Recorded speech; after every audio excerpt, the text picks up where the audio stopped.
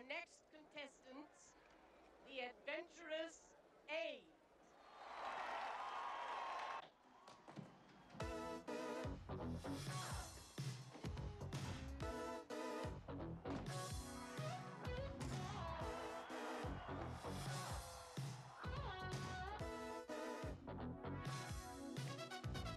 Way up in the distance, hovering in the air, another sunset off in search of better days. High above the rooftops, sailing on the wind,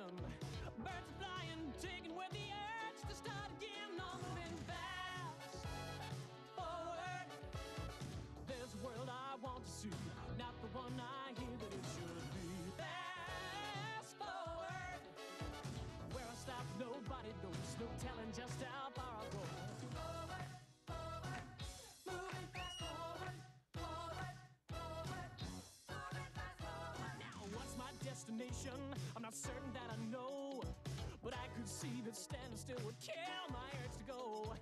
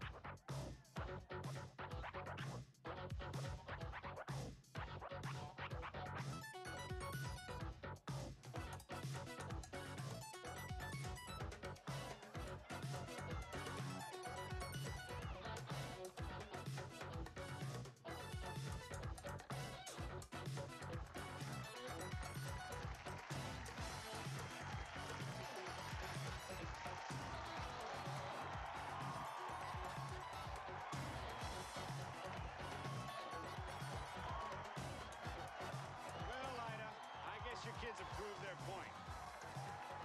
I'm a reasonable man, and I'm willing to let bygones be bygones. Why don't you drop around the office tomorrow morning? Let's see if we can't work something out. Oh, I'll be around to the office, all right. But it won't be to talk. I'm going to institute proceedings to regain control of my husband's company. And when I do, I'm going to throw you and the rest of those rats you brought in with you out on your collective ass. Now get out of my way, dear. You're spoiling my view.